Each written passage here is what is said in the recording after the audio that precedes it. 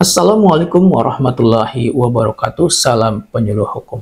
Sahabatku semua, setiap orang yang karena kealpaannya mengakibatkan orang lain luka, sehingga timbul penyakit atau halangan menjalankan jabatan, mata pencaharian, atau profesi selama waktu tertentu, dipidana dengan pidana penjara paling lama satu tahun atau pidana denda paling banyak kategori 2 atau sebesar 10 juta rupiah. Ketentuan ini tidak memberi perumusan mengenai pengertian kealpaan. Pada umumnya, pengertian kealpaan menunjukkan bahwa pelaku tidak menghendaki terjadinya akibat dari perbuatannya, yaitu kematian atau luka-luka. Namun dalam kejadian konkret terdapat kesulitan untuk menentukan bahwa suatu perbuatan dapat disebut dengan kealpaan.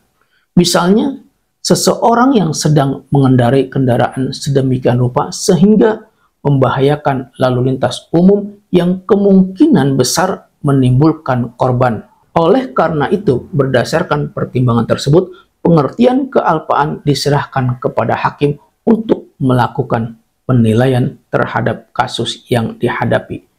Jika karena kealpaannya mengakibatkan orang lain luka berat, maka pelaku dipidana dengan pidana penjara paling lama 3 tahun atau pidana denda paling banyak kategori 2. Jika karena kealpaannya mengakibatkan matinya orang lain, maka pelaku dipidana dengan pidana penjara paling lama 5 tahun atau pidana denda paling banyak kategori 5 atau sebesar 500 juta rupiah. Jika tindak pidana sebagaimana dimaksud dilakukan dalam menjalankan jabatan, pencaharian, atau profesi, pidananya dapat ditambah 1 per 3. Dari jabatan atau profesi tertentu diharapkan adanya rasa tanggung jawab dalam menjalankan tugas atau pekerjaan yang dipercayakan kepada mereka dengan perkataan lain, kealpaan harus dihindarkan oleh orang yang menjalankan tugas atau pekerjaan secara bertanggung jawab.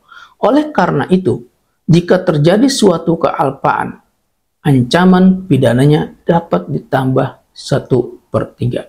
Selain itu, dapat juga dijatuhi pidana tambahan berupa pengumuman putusan hakim dan pencabutan hak menjalankan profesi tertentu. Ketentuan ini tercantum di dalam pasal 66 ayat 1 huruf C, pasal 86 huruf F, pasal 79, pasal 79 ayat 1 huruf B, huruf E, pasal 474 dan pasal 475 Undang-Undang Nomor 1 Tahun 2023 tentang Kitab Undang-Undang Hukum Pidana. Nah, sahabatku semua demikian tentang pidana mengakibatkan orang lain mati atau luka dikarenakan kealpaannya. Semoga sedikit yang saya sampaikan bermanfaat. Wassalamualaikum warahmatullahi wabarakatuh. Salam penyuluh hukum.